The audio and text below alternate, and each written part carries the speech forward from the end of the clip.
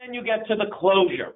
And this is really one of the main differentiators, again, between red teaming and pen testing.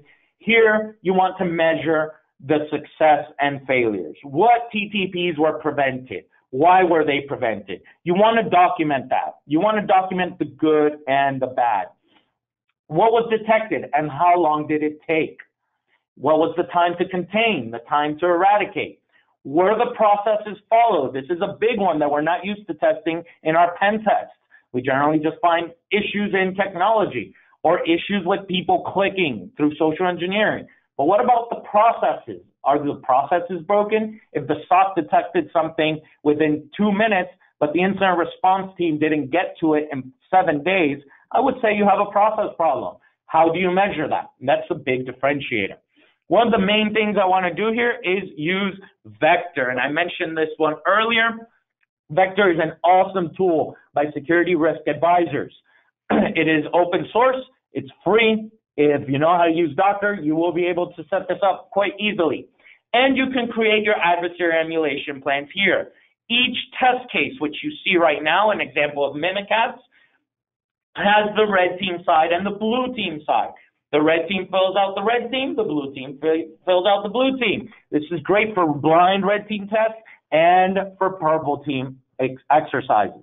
You can actually map this out to the various phases, to the ta- uh, technique ID in MITRE ATT&CK, and fill out the various different commands because remember, every technique has multiple procedures. You will never get to 100% prevention of all the MITRE uh, matrix.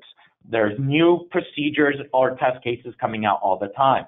So in this case, we did Mimikatz through PowerShell, and then we worked with the blue team. They were able to detect it, and we expected them to be able to detect this with both EDR and endpoint protection. So good job for McAfee Endpoint and Carbon Black. What was the alert severity? What was the detection time?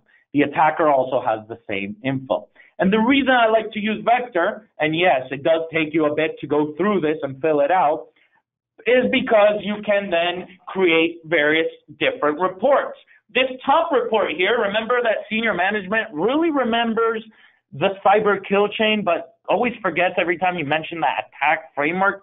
Well, here they have a view with the kill chain. How did APT 33 gain initial access? Through spear phishing. Then what did they do? How did they evade defenses? How did they do persistence? How was their command and control? You can see all the various test cases there on the top. On the bottom, you have different test cases as well, along with their status. Did you complete the test case? What was the outcome? Was it detected or was it prevented? Remember, a lot in MITRE ATT&CK will be detected, not necessarily through an alert, but may be detected. And really what you want to do is put these chains together, these attack chains.